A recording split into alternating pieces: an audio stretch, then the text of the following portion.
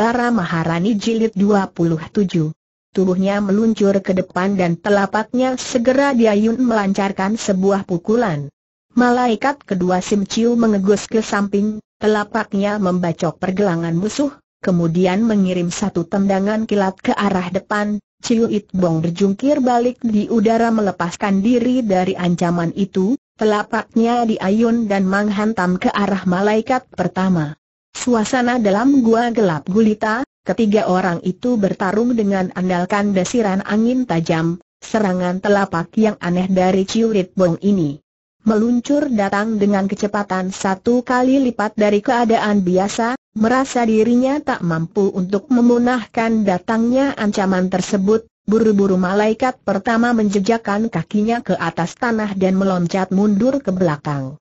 Rupanya Ciurit Bong sudah tahu kalau serangan ini tak akan mampu melalui musuhnya, dan dia pun telah menduga bahwa musuhnya pasti akan melompat mundur ke belakang menuju ke arah dalam gua, maka tubuhnya segera meluncur ke depan menghindari serangan dari malaikat kedua, dan untuk kedua kalinya dia menghantam malaikat pertama, Ketika malaikat pertama Sim Kim melihat bahwa Ciurit Bong hendak mendesak dirinya terjebur ke dalam liang beracun, diam-diam ia tertawa dingin, tubuhnya miring ke samping kemudian melancarkan sebuah pukulan dahsyat ke arah depan.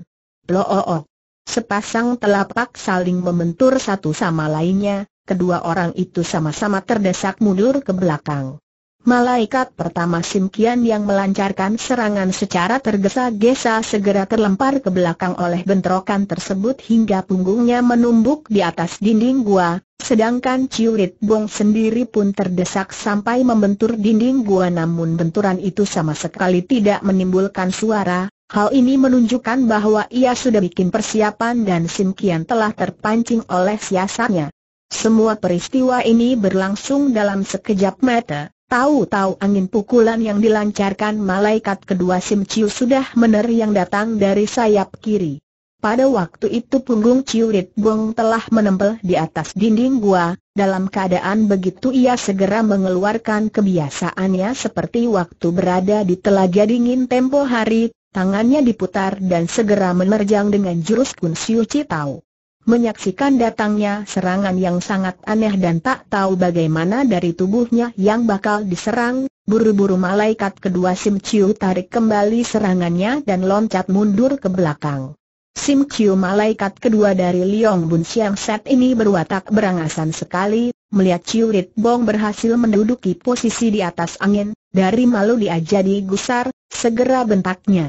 Lo Toa, urusan dinas lebih penting, lebih baik kita cepat-cepat lenyapkan manusia cacat ini dari muka bumi Sim Kiam jauh lebih licik dari saudaranya, mendengar ucapan tersebut ia segera menggeleng dan menyabut dengan suara dingin, engkau tak usah keburu nafsu, demikianlah, masing-masing pihak segera menghimpun tenaga dalamnya dengan maksud semakin mempertajam penglihatannya untuk mengawasi gerak-gerik pihak lawan.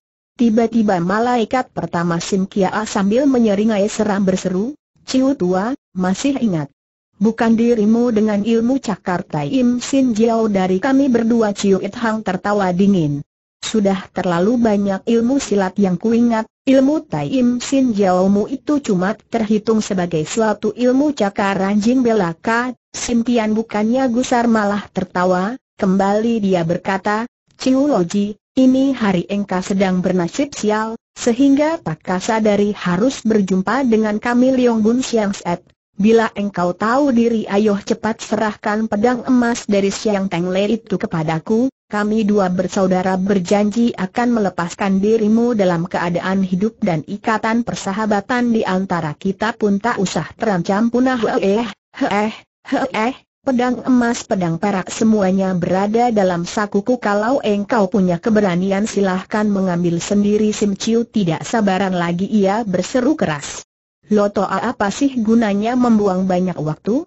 Bukankah pedang emas sudah beberapa kali berpindah tangan, engkau suruh manusia cacat ini bagaimana caranya untuk menyerahkan kepadamu mendengar dirinya berulang kali dipanggil sebagai manusia cacat, Ciurit Bong Jat satu amat gelusar dan mendendam malaikat kedua itu hingga merasuk ke dalam tulang sumsumnya, meskipun perasaan tersebut tidak sampai diperlihatkan di atas wajahnya, tapi diam-diam ia telah bersumpah untuk membasmi manusia usil tersebut dari muka bumi. Sebenarnya tujuan Simpian mengungkap kembali persoalan pedang emas, tujuannya bukan lain adalah membuktikan apakah benda mustika itu masih berada di sakunya atau tidak. Sekarang setelah penyelidikannya tidak mendatangkan hasil ia segera mendengus, mereka berdua selangkah demi selangkah berjalan maju ke depan mendekati musuhnya. Ilmu cakar maut Tai Im Sin Jiao atau kepandaian yang paling diandalkan Liong Bun Siang Sat selama ini, setelah menghimpun segenap kekuatan yang dimilikinya dan Seng Badan baru saja maju dua langkah ke depan, jari tangan mereka berdua tiba-tiba memanjang beberapa cun dari keadaan semula dan besarnya pun berlipat ganda, warnanya berubah jadi putih pusat sedikit pun tidak berwarna darah.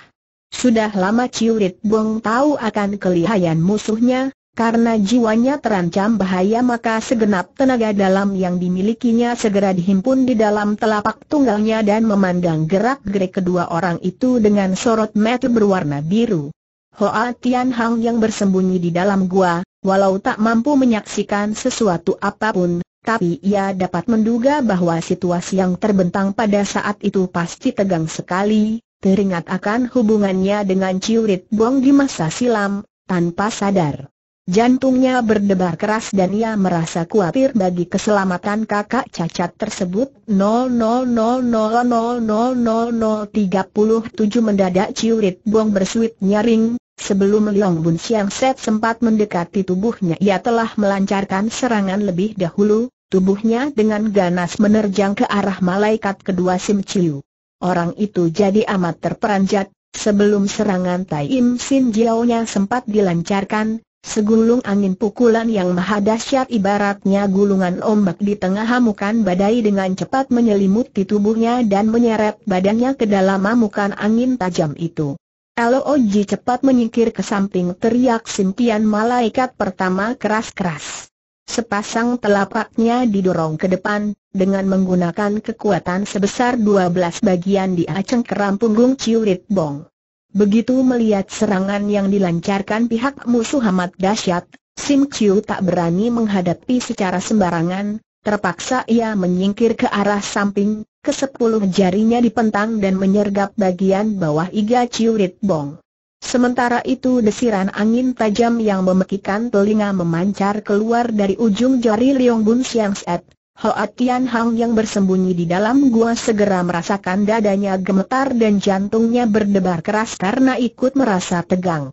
Dengan berat Ciurit Bong dengan cepat menggema memecahkan kesunyian, suara bentakan gusar dari Sim Ciu bergabung dalam benturan angin pukulan yang amat dahsyat menggeletar di dalam gua kuno yang gelap gulita. Lewat beberapa saat kemudian, suasana di dalam gua perlahan-lahan pulih kembali dalam ketenangan, Bayangan tubuh Ciurit Bong sudah lenyap entah ke mana perginya, malaikat kedua Sim Ciu duduk bersila di atas tanah dengan mata terpejam dan dada berombak, sorot matanya memandang ke tempat kejauhan. Lama, lama sekali, malaikat kedua Sim Ciu baru membuka matanya kembali sambil menghembuskan napas panjang, serunya dengan nada benci. Terlalu enak kita lepaskan manusia cacat itu, Bila kita sampai bertemu lagi di lain waktu paling sedikit jiwa anjingnya mesti kita cabut HMM engkau terlalu pandang enteng Ciu Loji, sahut Sim Kian dengan suara dingin, dengan andalkan sebuah lengan pun dia bisa hidup sampai ini hari, hal tersebut membuktikan bukan manusia sembarangan. Malaikat kedua Sim Ciu mendengus, ia segera mendekati Pek Soh Gi dan ayunkan telapaknya untuk membebaskan jalan darahnya yang tertotok. Tunggu sebentar tiba-tiba Sintian berseru, malam yang panjang akan mendatangkan impian yang banyak, apa yang mesti kita tunggu lagi apa yang telah dikatakan Jin Hian seru Sim Kian sambil tertawa dingin. Mula-mula Sim Chiu tertegun, kemudian sambil berpaling ke dalam gua teriaknya keras-keras. Tio Sam Koh, Ayo keluar memberi jawaban Hoa Tian Hang yang bersembunyi di balik kabut hitam merasa tertegun sesudah mendengar bentakan itu, ia merasa jarak antara mereka berdua dengan dirinya bertiga terpaut sejauh beberapa tombak, tak mungkin mereka bisa tahu dengusan napas mereka apalagi kabut hitam itu tebal sekali dan amat beracun sehingga sejak tadi mereka semua telah menutup pernapasan, tentu saja dalam keadaan begini tak mungkin mereka bisa tahu jejak mereka yang ada di dalam gua lewat pernapasan. Begitulah, seruan dari Sim Chiu dengan cepat membuat semua orang tertegun dan merasa sedikit di luar dugaan. Tio Sam Koh tertegun lalu menyinggung lengan Hoa Tian Hang memberi tanda kepadanya agar tidak menggubris. Tiba-tiba terdengar Sim Tian berkata pula dengan nada dingin. Tio Sam Koh, kalau engkau tak mau unjukkan diri lagi, jangan salahkan kalau aku orang sisim akan segera memasang api terkejut hati Hoa Tian Hang mendengar ancaman tersebut, pikirnya, Aku rasa sepasang malaikat itu pun tahu kalau gua ini tak boleh bertemu dengan api apa daya sekarang sementara itu Sim Chiu telah berkala pula. Elo Otoa, peduli amat di dalam gua ada manusia atau setan, kita lepaskan api saja untuk membakarnya, bukankah dengan cepat kita akan tahu di sana ada setannya atau tidak mendengar sampai di situ, Tio Sam Koh segera menarik tangan Hoa Tian Hang serta Hoa In dan meloncat mundur ke belakang. Hoa Tian Hang merasa terkejut bercampur curiga, buru-buru ia berkelebat ke sisi ibunya. Sepasang telapak Hoa Hujian masih menempel di atas tanah dan tubuh pun masih tetap duduk tak berkutik di tempat semula, pada saat itu ia membuka matanya dan berbisik. Kalian semua mundur ke belakang punggungku begitu melihat cahaya api segera lancarkan angin pukulan ke arah luar. Gua tersebut gelap gulita sulit melihat kelima jari tangan sendiri ketika Hoa Hujian membuka sepasang matanya maka terlihatlah cahaya tajam yang amat menyilaukan mata seakan-akan bintang yang gemerlapan di udara gelap memancar keluar dari balik matanya. Hoa Tian Hang amat terperanjas, ia tak mengira kalau tenaga dalam yang dimiliki ibunya telah mencapai taraf yang begitu sempurnanya, untuk beberapa saat lamanya karena pengaruh emosi ia tak mampu mengucapkan separah kata pun. Hoa In sendiri, dia diam-diam merasa terperanjat, mereka bertiga segera berdiri di belakang Hoa Hujian, hawa murni disalurkan ke dalam telapak dan setiap saat menantikan perubahan. Jarak antara gua bagian dalam dan gua bagian luar terpaut belasan tombak jauhnya bila melancarkan serangan dari dasar gua maka tenaga pukulannya sukar untuk mencapai mulut gua. Keistimewaan di dalam hal ini tidak diketahui oleh Hoa Tian Hang serta Hoa In. Mereka pun tak berani banyak bertanya karena musuh tangguh sedang berada di depan mata terpaksa sambil salurkan hawa murni dengan tenang mereka nantikan munculnya cahaya api dari luar gua. Rupanya Jin Hian telah menduga bahwa orang yang bersembunyi di dalam gua itu pastilah Hoa Hujian, hanya saja karena ia gentar atas kecemerlangan nama besar Hoa Hujian di masa lampau, ditambah pula nenek buta sudah menderita kekalahan maka akhirnya dia ambil keputusan untuk menyelesaikan semua persengketaan ini dalam pertemuan besar Kian Chiao Tai Hwee. Sungguh kebetulan ketika mereka kembali ke markas, Liong Bun Siang Set baru tiba, mendengar kisah tersebut mereka merasa tidak puas dan bersikeras akan datang menyelidiki duduk perkara yang sebenarnya, walaupun begitu mereka pun mengetahui akan kelihayan dari Hoa Hujian, maka kewaspadaan mereka pun dipertingkat. Sebagian besar orang persilatan mengetahui bahwa dalam gua kuno itu mengandung udara gas yang amat beracun dan tak bisa didiami oleh manusia, kini dengan suatu gerakan yang manis Hoa Hujian berhasil memaksa pancaran gas beracun itu langsung membumbung ke dinding bukit sehingga membuat gua kuno itu terbagi jadi dua bagian kejadian tersebut boleh dibilang merupakan suatu hal yang sama sekali tak terduga. Liong Bun Siang Set sendiri pun menduga bahwa Hoa Hujian masih bersembunyi di dalam gua, tapi karena mereka tak tahu keadaan yang sebenarnya dari gua kuno itu, untuk beberapa waktu kedua orang itu tak berani bertindak secara gegabah. Setelah menunggu beberapa saat lamanya dan baik gua masih belum juga nampak adanya suatu gejala, rasa was-was dalam hati dua bersaudara itu makin berkurang. Malaikat kedua Sim Chiu segera membentak nyaring. Nenek bangkotan Sitio, kalau engkau menyembunyikan diri terus-menerus seperti kura-kura. ketakutan, jangan salahkan kalau aku orang sisim akan menyumpal delapan keturunanmu kedudukan serta nama besar Hoa Hujian di dalam dunia persilatan amat tinggi dan dihormati semua orang, rupanya mereka segan untuk secara langsung mencari gara-gara dengan dirinya, maka yang dicari adalah Tio Sam Koh. Bisa dibayangkan betapa gusarnya Tio Sam Koh mendengar teriakan tersebut dengan cepat ia gerakan tubuhnya siap menerjang keluar dari gua itu, mendadak ia teringat bahwa Hoa Hujian pada saat ini sedang mencapai keadaan yang paling kritis, ia takut jika keadaan bertambah seru maka mereka terpaksa harus tinggalkan tempat itu, andai kata hawa murni sampai buyar, bukan saja susah payahnya selama ini akan menemui kegagalan bahkan kemungkinan besar akan mengalami jalan api menuju neraka. Mengingat betapa besarnya akibat yang bakal ditimbulkan, terpaksa Tio Sam Koh menahan amarahnya dan menghentikan gerakan tubuh yang sudah mencapai tepi gua itu. Hoa Tian Hang mengetahui bahwa nenek itu berwatak berangasan, melihat ia berhasil menguasai diri dalam hati kecilnya pemuda ini merasa amat berterima kasih, segera bisiknya, Sempo, bersabarlah sebentar cepat atau lambat Senji pasti akan bereskan manusia-manusia jahanam tersebut agar rasa dongkol Sempo bisa terlampiaskan. Belum tiba-tiba kabut warna hitam yang amat tebal itu seakan-akan terhantam oleh segulung angin pukulan yang amat dahsyat dengan cepatnya menggulung ke dasar gua hingga jaraknya dengan dasar gua di mana mereka berada dekat sekali. Hoa In dengan cepat bertindak, dia lancarkan sebuah pukulan dengan ilmu sao yang cengki untuk memaksa kabut hitam itu meluncur kembali ke tempat semula. Sementara itu Sim Chiu jadi semakin berani setelah dilihatnya angin pukulan yang dia lancarkan sama sekali tidak menunjukkan perubahan apa pun juga, katanya, mungkin saja mereka telah berlalu dari tempat ini dengan langkah lebar ia berjalan maju ke depan hingga tiba di depan gumpalan asap warna hitam itu, telapaknya diayun dan kembali dia lancarkan sebuah pukulan dahsyat ke muka. Blaam, Segulung angin pukulan yang amat dahsyat dengan cepatnya menerobos masuk melewati kabut hitam dan langsung menerjang ke dalam gua. Tapi dari balik gua sama sekali tidak memperlihatkan reaksi apa pun juga, tanpa terasa Sim Chiu mengerutkan dahinya. Elo Otoa ia berseru, rupanya gua ini kosong tak berpenghuni, biar aku masuk ke dalam untuk memeriksa keadaan di situ.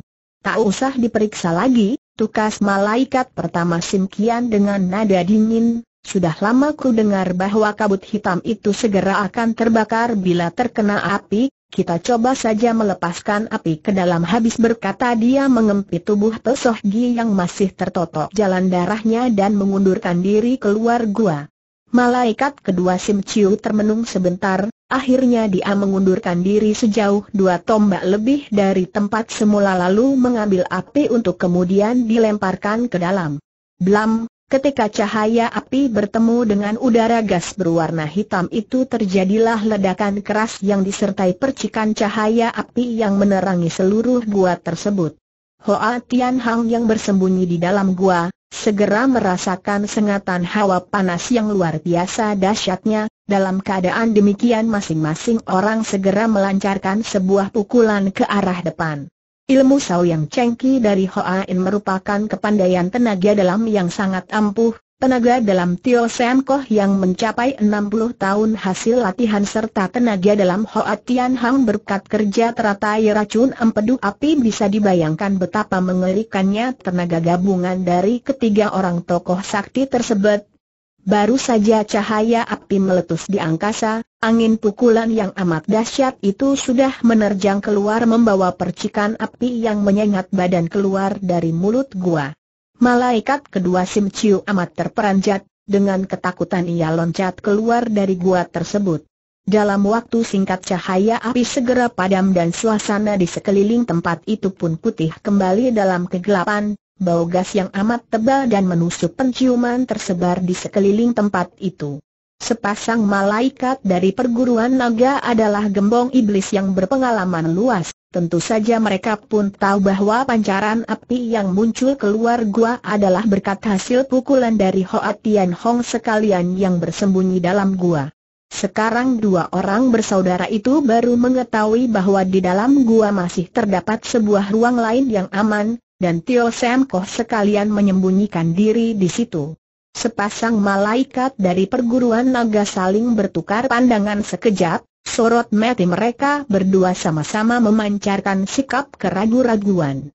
Haruslah diketahui baik Tio Sam Koh maupun Hoa Ing sama-sama merupakan jago lihai yang berkepandaian tinggi, Sekalipun sepasang malaikat dari perguruan naga merasa yakin dapat menangkan mereka berdua, namun selisih kepandaian di antara mereka boleh dibilang tipis. Sekali, kendati pun kemenangan masih berada di pihaknya, itu pun harus diperjuangkan secara mati-matian. Andai kata Hoa Hujian benar-benar berada di dalam goa, dengan dua lawan tiga maka keadaan mereka dua bersaudara akan runyam. Keadaan mereka pada saat ini boleh dibilang ibaratnya menunggang di atas punggung harimau, mau turun tak berani mau tetap duduk di situ pun sungkan, sementara mereka masih berdiri dengan wajah kebingungan, tiba-tiba dari jembatan seberang berkumandang datang suara langkah manusia yang amat lirih. Liong Bun Siang Set sama-sama tertegun dan segera berpaling ke belakang, Tampaklah belasan sosok bayangan manusia dengan kecepatan bagaikan sambaran kilat sedang bergerak mendekat. Dalam waktu singkat seorang kekek berbadan tinggi kurus telah tiba lebih dahulu di tempat itu, dia bukan lain adalah Jin Hian ketua dari perkumpulan Hong Im Huiye, di sampingnya mengikuti seorang jago pula dan dia adalah salah seorang tulang punggung perkumpulan Hong Im Huiye yang bukan lain adalah Yan Sanit Koai. Diam-diam Liong Bun Siang merasa kegirangan melihat kehadiran jago-jago lihai tersebut, Sim Kian segera melemparkan tubuh Pesoh Gi ke depan sambil serunya diiringi gelak tertawa berat, sungguh kebetulan sekali kedatangan Chong Tengki di tempat ini, dialah putri sulung dari Pek Xiao Tian, coba periksalah. Benarkah dia adalah pembunuh yang telah membinasakan Bong Ji ketika tubuh gadis itu dilontarkan ke depan, jalan darahnya telah ditotok. Bebas, Jin Hian segera menangkapnya dan membentak dengan wajah menyeringai seram, pasang obor dalam waktu sekejap, delapan orang pengawal golok emas yang dibawa serta oleh Jin Hian telah memasang obor dan menggangkat tinggi-tinggi, Suasana di sekeliling gua kuno pun menjadi terang benderang bagaikan berada di siang hari. Dengan sorot mata yang tajam bagaikan sambaran kilat, Jin Hian menatap wajah Pek Soh Gie tanpa berkedip, di dalam ketajaman matanya terpancar keluar cahaya seram yang menggidikan hati, seakan-akan ia hendak menembusi isi hati gadis itu. Pesoh Gie tetap tenang dan air mukanya sedikit pun tidak berubah, Mukanya yang cantik dengan biji matanya yang bening dan jeli memandang wajah Jin Hian penuh kehalusan dan ketenangan, begitu halus dan tenang keadaannya sehingga mengherankan semua orang yang hadir di situ. Beberapa waktu kemudian, tangan Jin Hian yang mencengkeram bahu Petsoh Gie nampak gemetar keras, cahaya matanya yang bengis bagaikan iblis kian lama kian bertambah kalut dan kacau tak karuan, mukanya berkerut kencang, Akhirnya dia menundukkan kepala, menghela napas dan berdiri termangu-mangu, lama sekali tak mengucapkan sepatah kata pun jua. Tiba-tiba terdengar yang It Koai berseru, Pek Soh Gie masih gadis serawan, sedang Bongji dengan pembunuh itu pernah melakukan hubungan badan, aku rasa urusan ini agak sedikit tidak beres, Walaupun Pek Soh Gie berwajah cantik jelita bagaikan bidadari yang baru turun dari kahyangan, namun dandanannya sederhana dan biasa sekali, dari tubuhnya terpancar pula kehalusan budi serta keramah tamahan yang begitu meyakinkan, membuat barang siapa pun yang melihat tentu tak akan percaya kalau dia adalah seorang pembunuh. Jin Hian berpengalaman luas dan berpandangan luas, tentu dia pun mengetahui bahwa Pek Soh Ye masih perawan suci, atau dengan perkataan lain tak mungkin dia adalah pembunuh yang membunuh putranya serta mencuri barang berharga. Dengan sepasang alis berkerut Sim Kian segera berseru, aku lihat di dalam persoalan ini tentu ada orang yang sengaja membolak-balikan duduk perkara, tiba-tiba terdengar Pesoh Gi berkata, Apakah engkau adalah Jin Lo Chiam Poi Jen Hian melototkan matanya bulat-bulat, setelah menenangkan hatinya dia mengangguk. Sedikit pun tidak salah, Akulah Jin Hian engkau ada perkataan apa yang hendak disampaikan? Bo Ampue belum pernah menyeberangi sungai Wang Ho menuju ke utara, dan aku pun belum pernah membunuh orang, Jin Hian menggertak giginya kencang-kencang sehingga berbunyi gemerutukan, tiba-tiba ia berpaling ke arah gua kuno itu sambil bentaknya keras-keras, Hoa Tian Hong. Kalau engkau tak menunjukkan diri lagi, Janganlah salahkan kalau aku akan bertindak kasar kepadamu rupanya pikiran jagot tua ini sedang kacau sekali, selesai mengucapkan kata-kata tersebut dia segera ulapkan tangannya kepada seorang pengawal golok emas yang berada di sisinya sambil membentak. Lepaskan anak panah kiranya kawanan pengawal golok emas itu kecuali menyoren sebilah golok bergagang emas yang besar, pada pinggang masing-masing menyandang pula gendawa serta anak panah yang berujung bulat telur, sekilas memandang siapa pun tahu kalau anak panah yang mereka siapkan adalah panah-panah berapi. Setelah mendapat perintah dari Jin Hian, buru-buru pengawal golok emas itu menyiapkan gendawa dan mengambil anak panah, setelah membakar ujungnya panah tersebut segera dibidikkan ke dalam gua. Seret. Serentetan cahaya api dengan cepat meluncur masuk ke dalam gua yang gelap itu. Gelap tertawa berkumandang memecahkan kesunyian, sambil menjerit batang anak panah itu dengan ketiga jari tangannya, perlahan-lahan Hoa Tian Hang munculkan diri dari dalam gua diiringi Tio Sam Koh serta Hoa In di belakangnya. Pepatah mengatakan, Buddha harus memakai emas dan manusia harus memakai pakaian, Kemarin baju yang dikenakan Hoa Tian Hang tidak komplit dan keadaannya mengenaskan sekali, sebaliknya hari ini dengan pakaian yang baru serta pedang baja tersorot di atas pinggang, keadaannya nampak begitu gagah dan mengagumkan. Liong Bun Siang Set baru pertama kali ini bertemu dengan Hoa Tian Hong, menyaksikan sikapnya yang gagah tanpa terasa mereka mendengus dingin. Pesoh Gi segera mementang matanya yang jeli ketika menyaksikan kemunculan Hoa Tian Hang dari dalam gua, dengan hati kejut bercampur girang serunya, Oh, oh ternyata Hoa Toako benar-benar terlepas dari mara bahaya, ketika Ciu Lo Chiam Pue mengatakan hal itu kepadaku, aku masih tidak berani untuk mempercayainya. Hoa Tian Hang tertawa dengan wajah minta maaf, ujarnya, aku tak mampu menyelamatkan jiwa Nona, kalau diingat benar-benar menyesal sekali Hoa Toa aku tak usah sungkan-sungkan. Hoa Tian Hang segera memberi hormat kepada Jin Hian, lalu bertanya. Ketua Jin, kau memanggil diriku keluar entah ada urusan apa Jin Hian tertawa seram. Heeh, heeh, heeh, harap Hoa Lote suka menyampaikan kepada ibumu, Katakanlah kalau aku ada urusan hendak bertemu dengan dirinya Ketua Jin sebagai pemimpin dari suatu perkumpulan besar, sudah sepantasnya kalau ibuku menemui dirimu dengan segala kehormatan, kata Hoa Tian Hang dengan wajah serius, sayang sekali dia orang tua sedang berlatih suatu ilmu dan tak mungkin untuk keluar dari gua, karena itu aku mohon Ketua Jin bisa memakluminya dan Bo Ampue mewakili ibuku minta maaf yang sebesar-besarnya mendengar perkataan itu, Jin Hian segera berpikir di dalam hati, jadi kalau begitu, orang yang bersembunyi di dalam gua benar-benar adalah bininya Hoa Goan Sin berpikir sampai di sini. Sorot matanya segera menyapu sekejap ke arah Pek Soh Gi dan berkata kembali, nasib aku orang si Jin memang benar-benar buruk, sudah begini tua harus kehilangan satu-satunya putra tunggalku, AAI.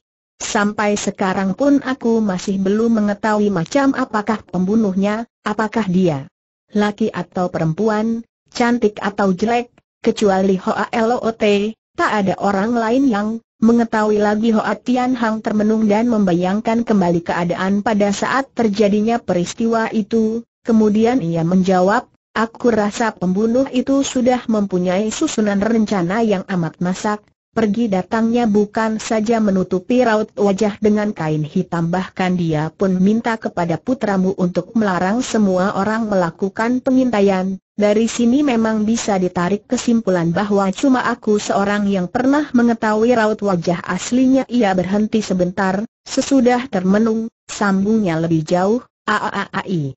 Meskipun aku pernah bertemu dengan raut wajah Seng pembunuh, tapi kalau dipikir lebih seksama maka aku rasa belum tentu yang kusaksikan adalah raut wajahnya yang sebenarnya HMMM apakah engkau punya mata? Tak berbiji sindir Sim Gui malaikat kedua dari Liong Bun Siang Set dengan nada dingin.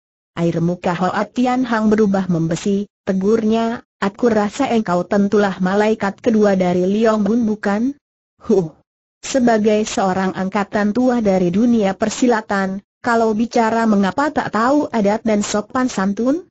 Munekinkah engkau tak pernah mendapat pendidikan HMMM? Kalau engkau menganggap aku tak tahu adat, panggil saja ibumu suruh dia yang menuntut kepadaku. Hoa Tian Hang tertawa dingin. Engkau anggap aku tak mampu untuk menuntut dirimu ejeknya.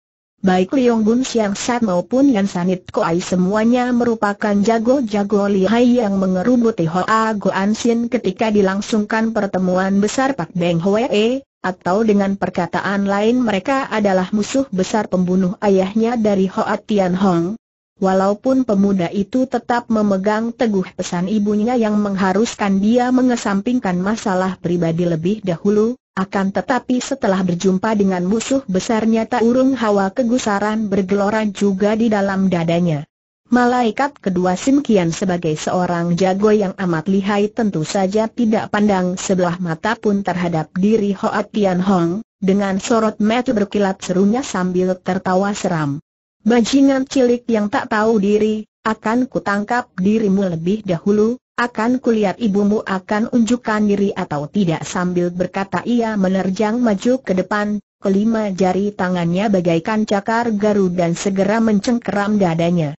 Hoa In yang berada di belakang, pemuda ini segera mendengus dingin, sambil layun telapaknya melancarkan serangan ia segera menerjang maju ke depan. Hei, Tua bangka apakah engkau adalah Hoa In bentak Sim Chiu dengan alis berkerut. Tubuhnya menerjang maju ke depan, dan dia pun mengirim satu pukulan pula ke muka. HMM. Kalau benar, ada apa sementara pembicaraan masih berlangsung kedua orang itu sudah saling membentur satu sama lainnya untuk kemudian berpisah kembali, dalam benturan itu tubuh Sim Chiu terdesak mundur kembali ke belakang, Sedangkan Hoa In tetap menghadang di mulut gua, sepasang kakinya terpantek di atas tanah dan sedikit pun tak bergeser. Dalam pada itu, Jin Hian telah berpikir di dalam hati. Pesoh Gi tidak mirip pembunuh yang melakukan pembunuhan berdarah tersebut, dan Bong Ji sudah pasti bukan mati di tangannya, kalau tidak urusan tentu tak akan beres-beres. Berpikir sampai di sini, kepada Yan Sanit Koai serta Sim Kian segera ujarnya, aku harap Lokoko berdua suka membayangi diriku dari samping karena, aku hendak bertempur beberapa gebrakan melawan Hoa LOT tersebut. Chong Teng I, mengapa kau harus turun tangan sendiri seru Sim Kian dengan cepat? Biarlah aku orang sisim yang mewakili dirimu habis berkata ia segera berjalan menuju ke mulut gua.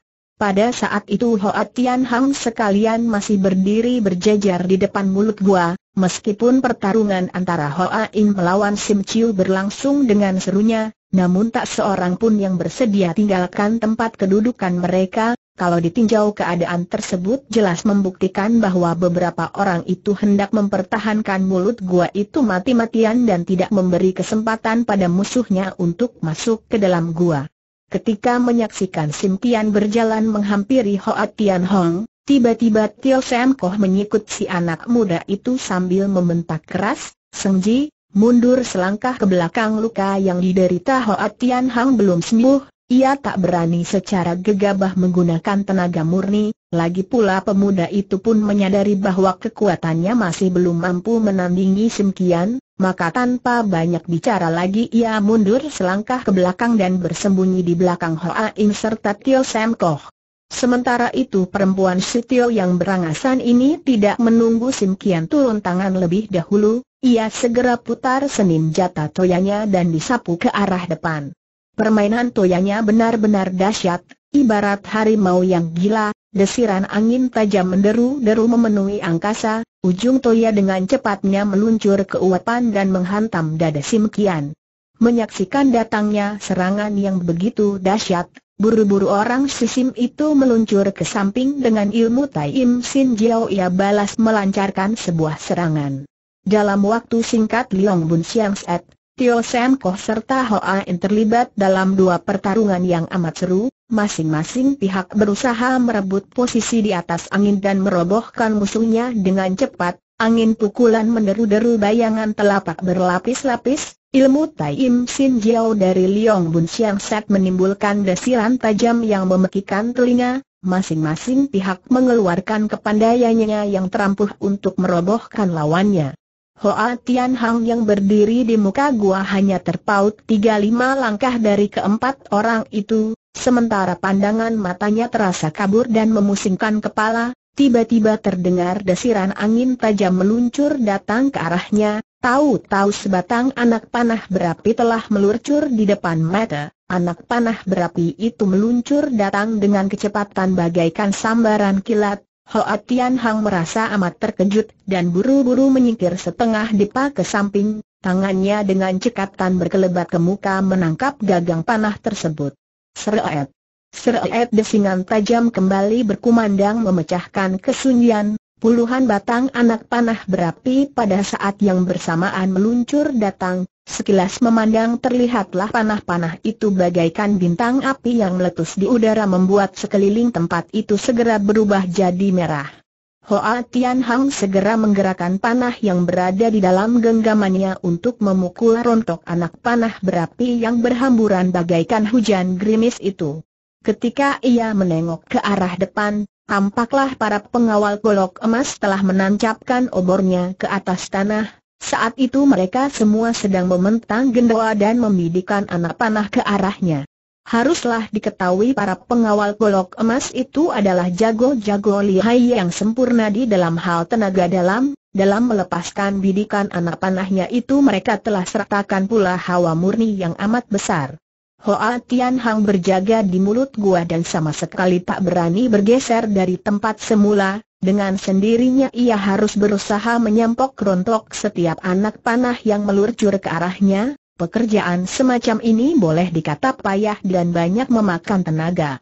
Jin Hian memberikan perintahnya dari samping, ketika menyaksikan semua panah yang dibidikan ke arah gua. Berhasil dipukul rontok semua, Tiba-tiba ia meminta gendawa itu dari seorang anak buahnya dan langsung membidikan sebatang anak panah ke arah si anak muda itu. Seret cahaya api berkilat diiringi desiran angin tajam, kepala panah dengan cepat menyambarnya lewat dari depan dada Hoa Tian Hang tidak lebih satu dua cun di atas tubuhnya. Si anak muda itu berseru kaget, Panah di tangannya segera digetarkan ke muka dan sekuat tenaga menangkis datangnya ancaman tersebut.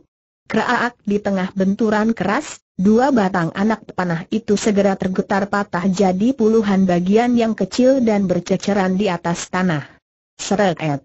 Seret di tengah berhamburannya hujan panah, Jin Hian kembali melepaskan pula dua bidikan ke dalam gua. Cukup didengar dari desiran angin yang jauh lebih tajam dari panah-panah lain, Hoa Tian Hang mengetahui bahwa dua batang anak panah tersebut dibidikkan sendiri oleh Jin Hian, dalam gugupnya ia segera menyambar dua batang panah musuh yang sedang meluncur datang dan sekuat tenaga disambitkan ke arah panah-panah yang dilancarkan Jin Hian itu. Teraang empat batang anak panah kembali patah jadi beberapa bagian yang kecil. Tiba-tiba, seret Sepasang panah berapi yang amat tajam meluncur datang melewati atas kepala Hoa Tian Hong dan langsung meluncur masuk ke dalam gua. Anak panah tersebut dibidik sendiri oleh Jin Hian, Hoa Tian Hong yang sedang ayun sepasang telapaknya untuk menyampok datangnya hujan panah sama sekali tak mampu menghadang datangnya desohian panah berapi yang sedang meluncur ke dalam gua itu. Blaam ledakan keras menggetarkan seluruh bumi, ketika hawa yang mengandung gas racun itu bertemu dengan jilatan api, seketika terciptalah serentetan cahaya api yang menyelimuti seluruh angkasa. Hoa Tian Hang terkejut bercampur gelisah, ketika ia sedang menguatirkan keselamatan dari ibunya, tiba-tiba dari dalam gua berkumandang keluar suara dari Hoa Hujian yang dingin dan berat, Minggir semua Hoa Hujian adalah orang yang paling dihormati oleh Tio Sam Koh, Hoa Tian Hang serta Hoa In tentu saja tak usah dikatakan lagi, mendengar perkataan itu tanpa berpikir panjang lagi ketiga orang itu segera tinggalkan musuh-musuhnya dan meloncat ke samping. Blaaam, ledakan dahsyat bagaikan meletusnya gunung api menggeletar di angkasa, hembusan udara panas yang bercampur dengan jilatan api segera meluncur keluar dari balik gua. Liong Bun Siang Sat sendiri meskipun mendengar seruan dari Hoa Hujian, namun ia tak pernah menyangka kalau dari balik gua bakal menyembur keluar cahaya api yang begitu panas dan dahsyat. Dalam kejutnya, sekuat tenaga ia loncat mundur ke belakang. Untung kepandaian silat yang dimiliki kedua orang ini sangat lihai dan luar biasa sekali, hingga badannya tidak sampai terjilat oleh hembusan api yang amat keras itu. Dalam waktu singkat jilatan api yang berada di dalam gua itu sudah padam dan lenyap tak berbekas, akan tetapi rumput serta ilalang yang tumbuh di luar gua segera terjilat api dan terjadilah kebakaran besar. Hoa Tian Hang serta Tio Sam Koh sekalian saling berpandangan dengan mulut melongot, meskipun mereka tahu bahwa kebakaran yang terjadi di sekitar tempat itu akan mengakibatkan kebakaran hutan yang hebat, tapi karena musuh tangguh ada di depan mata sementara angin gunung pun berhembus kencang, maka sekalipun ada maksud memadamkan kebakaran itu sudah tak berakal sempat lagi. Liong Bun Siang Set sendiri pun merasa terkejut bercampur curiga, dari pancaran api yang memantul keluar gua diiringi desiran angin tajam, mereka tahu bahwa hal ini pastilah disebabkan oleh dorongan tenaga pukulan seseorang yang amat keras, Seandainya angin pukulan itu dilancarkan oleh Hoa Hujian maka dapat dibayangkan sampai di manakah kelihayan perempuan itu, kendati pun Liong Bun Siang Sat merasa yakin akan kemampuannya tak urung mereka merasa bergidik juga. Jin Hian jauh lebih terperanjat lagi, teringat akan keadaan nenek buta yang terhantam sampai pingsan ketika nenek memasuki gua pagi tadi, Diam-diam ia merasa bergidik dan rasa was-was pun semakin dipertebal. Tetapi bagaimanapun juga dia adalah seorang pemimpin dari suatu perkumpulan besar, sebelum bertemu dengan Hoa Hujian dan mengetahui keadaan yang sebenarnya tentu saja ia tak mau mundur dengan begitu saja. Setelah berpikir sebentar, ia segera memberi hormat ke arah gua dan berkata dengan suara lantang, Jin Hian dari perkumpulan Hong Im Wei sengaja datang berkunjung, Hoa Hujian, Hoa Tian Hang sendiri pun merasa terkejut bercampur curiga, ia tak tahu dengan care apakah ibunya memaksa keluar jilatan api yang berkobar di dalam gua tersebut, dia ingin sekali masuk ke dalam gua untuk mengetahui keadaan yang sebenarnya, maka ketika Jin Hian mengucapkan kata-kata itu, dia segera menukas, sekarang ibuku masih bertapa, jika ketua Jin Hian bertemu harap tunggu sebentar, aku akan segera memberi laporan kalau begitu merepotkan, ujar Jin Hian dingin. Hoa Tian Hang segera masuk ke dalam gua, di tengah hembusan hawa gas yang menusuk hidung buru-buru ia terjang masuk ke tempat ibunya bertapa. Kabut hitam yang menyelimuti ruang gua membuat suasana bertambah gelap, Sekalipun di luar gua suasana terang benderang tapi keadaan di gua tetap gelap gulita sehingga lima jari sendiri pun tak dapat dilihat. Hoa Tian segera jatuhkan diri berlutut di sisi ibunya, lalu menegur dengan suara lirih. Ibu, bagaimana keadaanmu tidak apa-apa bukan Hoa Hujian geleng kepala. Aku sudah paksakan diri untuk menggunakan hawa murni, sekarang harus segera bersemedi untuk memulihkan kembali tenagaku, kalau tidak maka aku akan mengalami jalan api menuju neraka, katanya serak.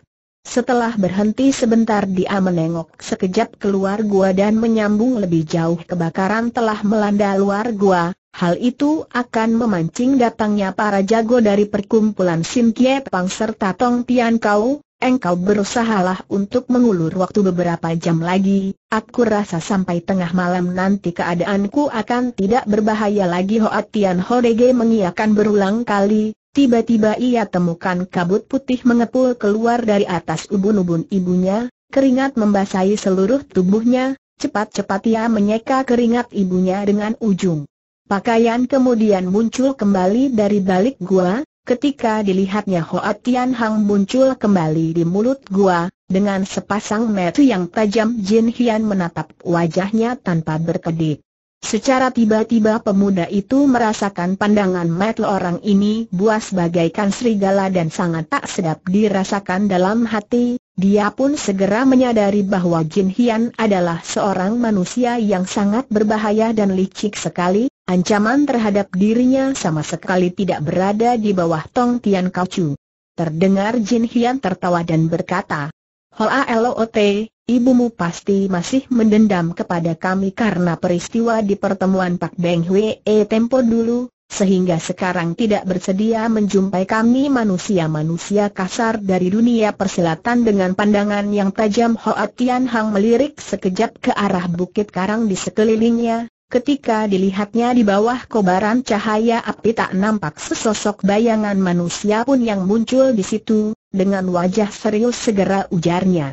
Ketua Jin harap maklum, sebenarnya ibuku akan keluar dari gua untuk menyambut sendiri kedatanganmu, tapi berhubung saat ini beliau sedang berlatih ilmu maka maafkanlah bila ibuku tak bisa menemui kalian bicara sampai di sini ia segera memberi hormat dan melanjutkan, Ibuku memerintahkan aku untuk mewakili. Beliau menyambut kedatangan Ketua Jin, harap Ketua Jin suka masuk ke dalam gua, tapi karena tempat kami terlalu sempit dan tak bisa menyambut pula saudara-saudara yang lain, harap para Hyong lainnya suka memaafkan begitu ucapan tersebut diutarakan keluar, Tio Samkoh dan Hoa Ing segera berdiri tertegun. Mereka tidak habis mengerti, sekarang Hoa Hujian toh sedang berlatih ilmu kenapa Jin Hian dipersilahkan masuk ke dalam? Karena kebingungan dan tak habis mengerti, maka sorot mata yang tajam segera dialihkan ke arah si anak muda itu.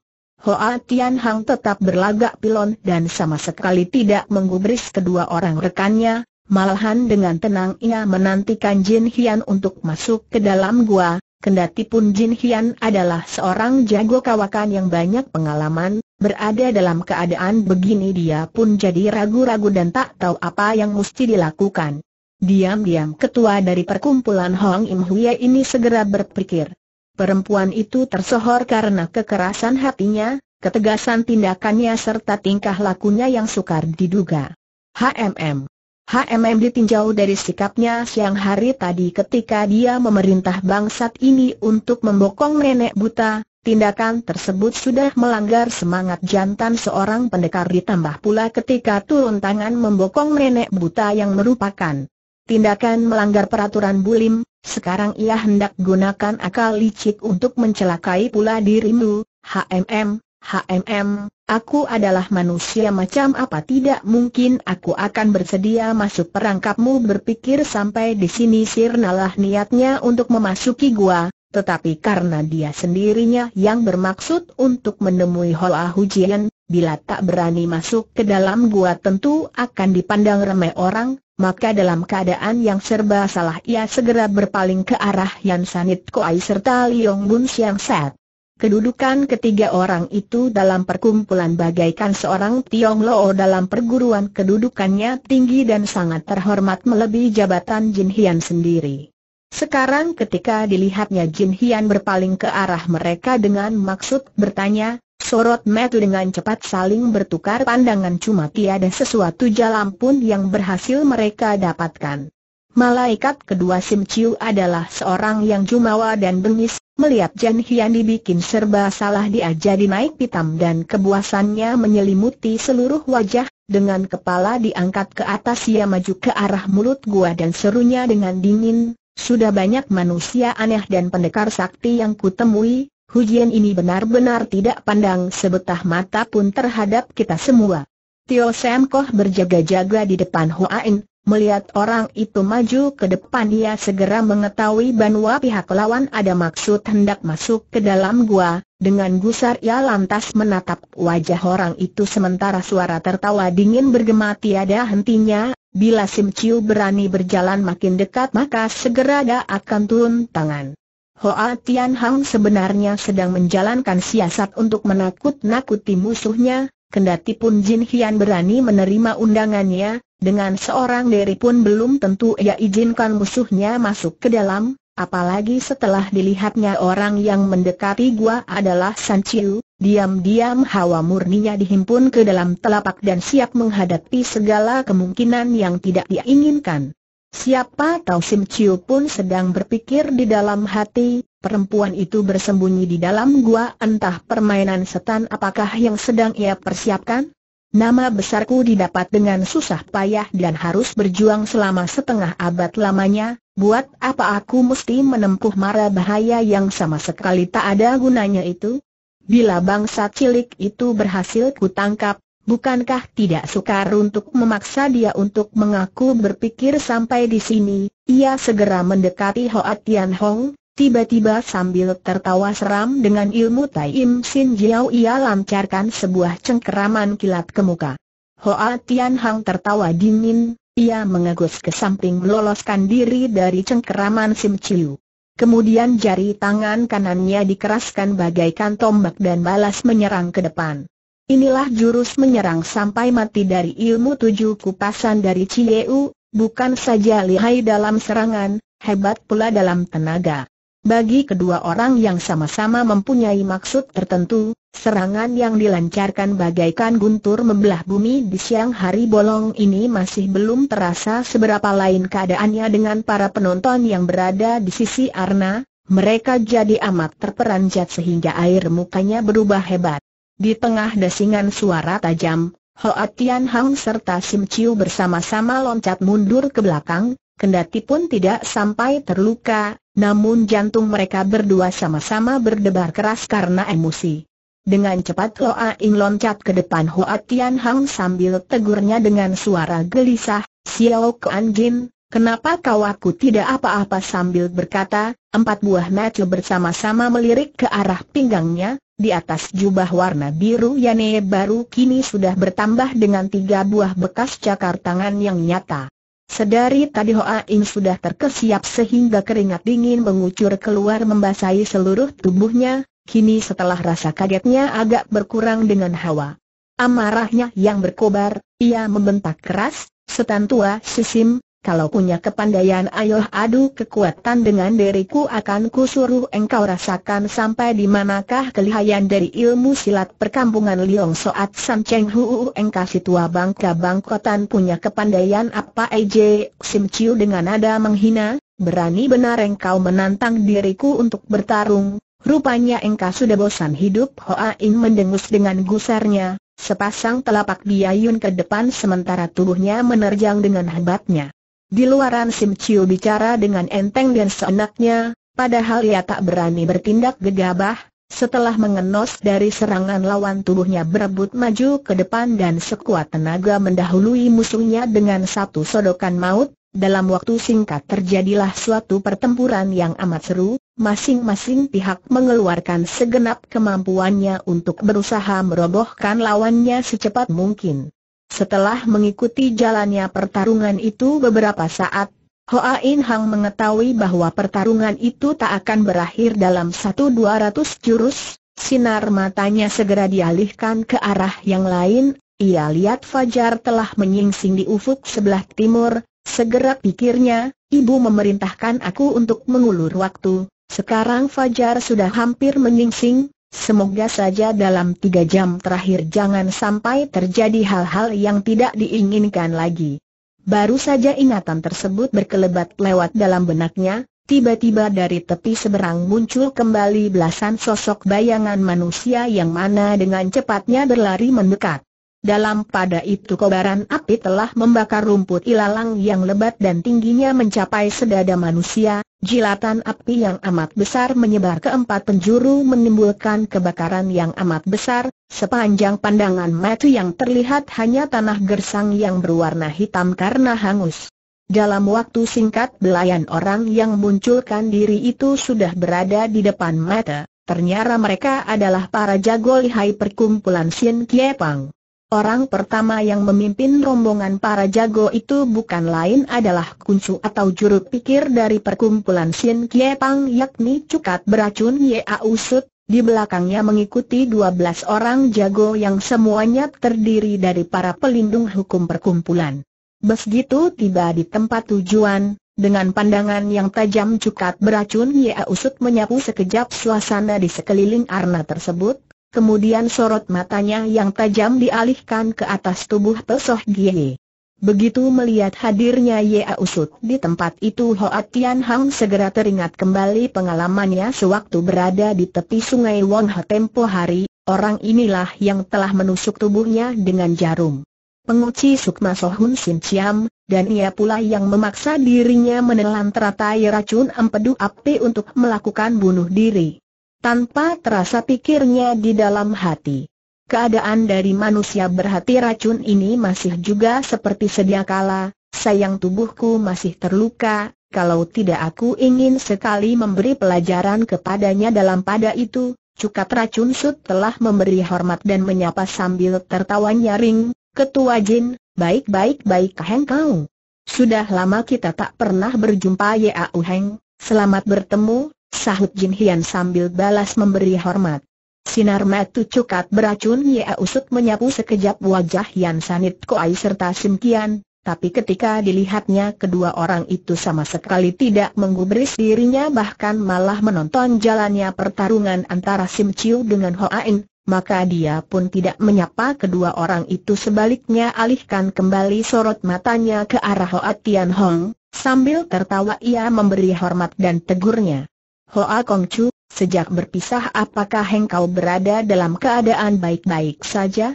Apakah masih ingat dengan aku orang Siai Au aku tak berani melupakan dirimu jawab Hoa Tian Hong sambil tertawa hambar. Air muka cukat beracun Ya Usut segera berubah amat serius, tiba-tiba ujarnya, apakah Nona ini adalah Nona Pek Sohgi dari perkumpulan kami sedikit pun tidak salah sahut Pek Sohgi sambil membentangkan biji matanya yang jeli, keponakan bukan lain adalah Pek Sohgi, siapa paman? Apakah engkau adalah cukat beracun? Melihat gadis itu mendadak membungkam, cukat beracun Ya Usut segera tertawa nyaring. Benar, aku adalah cukat beracun Ya Usut, sudah lama aku mengabdi pada Pangcu dan Nonagi dibesarkan oleh kami. Oh, oh rupanya Paman Yau, maaf kalau Titli kurang hormat sambil berkata Pek Sohgi hendak maju ke depan, tapi pergelangannya terasa mengencang ketika ia berpaling. Maka terlihatlah orang yang mencekal pergelangannya bukan lain adalah Jin Hian. Bentak-bentakan gusar berkumandang dari arah belakang, Belasan orang jago yang berada di belakang Ya Usut dengan amat gelusarnya siap melakukan terjangan ke arah depan. Cukat beracun Ya Usut sendiri tetap tenang, dia melintangkan tangannya menghadang anak buahnya melakukan penyergapan.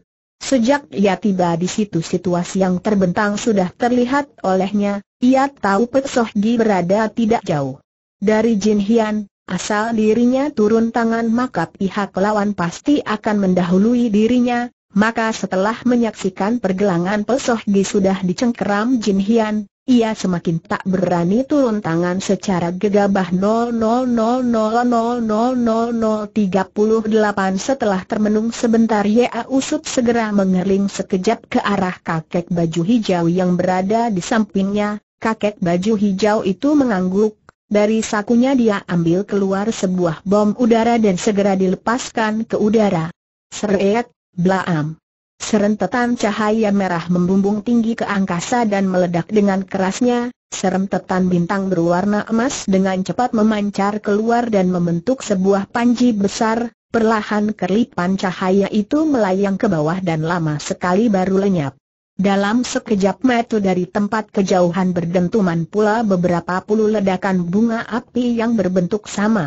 Sim Chiu yang sedang melakukan pertarungan tiba-tiba membentak keras, dia lancarkan dua pukulan dahsyat menggetar mundur musuhnya, kemudian dia pun meloncat mundur pula ke belakang.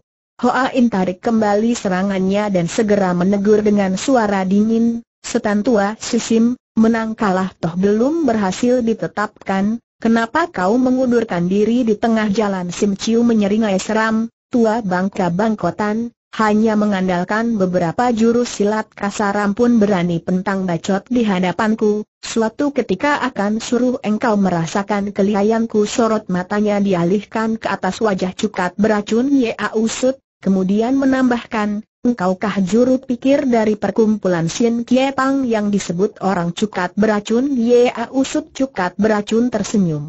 Mana nama, aku memang bernama Yea Usut, kata beracun secara dipaksakan masih dapat kupakai, kalau kata cukat sih tak berani kugunakan ketika Hoa Tian Hang melihat Sim Chiu melepaskan Hoa dan mencari gara-gara dengan Ya Usut, hatinya jadi amat girang, pikirnya, andai kata kedua kekuatan besar itu saling bentrok dan bertempur sehingga waktu bisa terulur lebih lama lagi, ibu pasti akan berhasil melepaskan diri dari mara bahaya tiba-tiba terdengar suara Sim Chiu berseru sambil tertawa seram.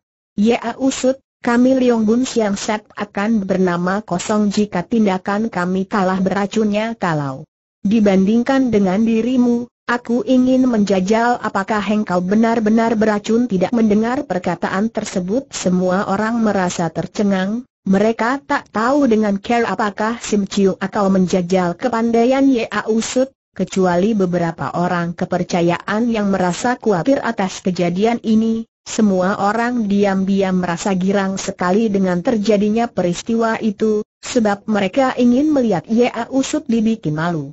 Tapi cukat beracun Ya Usut benar-benar lihai dan tidak malu menjabat kedudukan sebagai kunsu, orang lain tak dapat menebak maksud hati Sim Chiu. Sebaliknya ia sudah dapat menduga apa yang hendak dilakukan lawannya.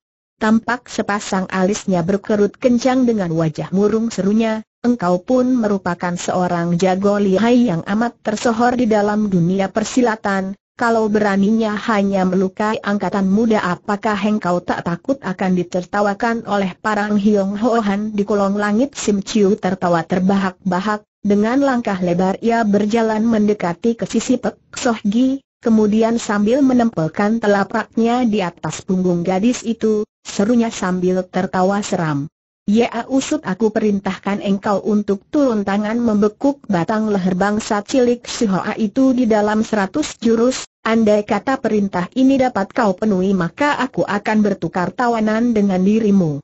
Sebaliknya kalau engkau tak mampu, maka sekali bacok akan kubunuh mati budak ini sehingga Pek Loji akan bikin perhitungan dengan dirimu, Sim Chiu bentak Hoa Tian Hang dengan alis berkerut, Aku orang si atau berada di sini, mengapa kau tak berani turun tangan sendiri? Tio Sam Koh takut suasana jadi bertambah kacau, mendengar ucapan tersebut dengan nada dingin ia segera berseru, siapa yang akan turun tangan toh sama saja, apakah kalau Pek Xiao Tian kematian putrinya maka engkau yang harus mengganti nyawanya? Hoa Tian Hang segera alihkan sorot matanya ke arah Pek Soh Di, Diam-diam ia menghela napas dan berpikir, Aaai, nona itu berbudi luhur dan lemah lembut.